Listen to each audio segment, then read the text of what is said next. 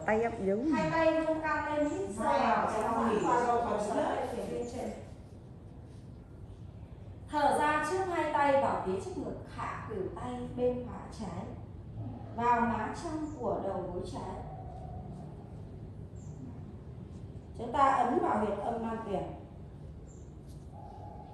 rồi nghiêng người sang bên trái lưng hông bên phải lên vưỡi căng chân phải lưng lên khỏi sàn đưa sang ngang âm nam tuyển nó ở phía dưới các gối nha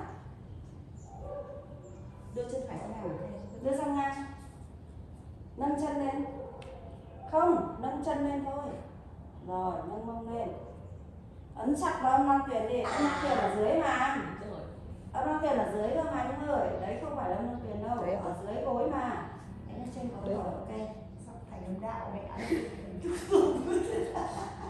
thầm thầm đi rồi Hít vào phình căng bụng lên học ở chỗ chị Phong là kiểm định phải biết một bài huyền thả ra đẩy khí không chặt thấy đi chưa?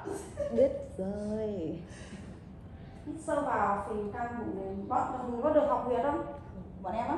Ừ. có chứ em có cầm quyền huyệt tạo nhà không thở ra đẩy khí thấp chặt lại nhưng có nhớ huyệt không? Con nhớ giờ chỉ nhớ huyệt chính thôi. Ừ. thế mà trông thấy chị Phong chẳng phải là bác sĩ gì mà chị Phong nhớ rất nhiều huyệt chị như nói là phải sao gì ước vào năm phiếu bốn ba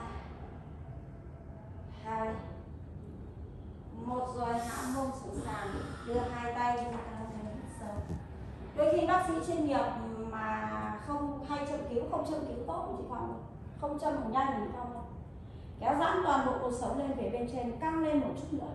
Thở ra hai tay ra ngang sang hai bên. Rồi nâng hông lên khỏi sàn. Nâng hông lên nhỉ nâng lên nào.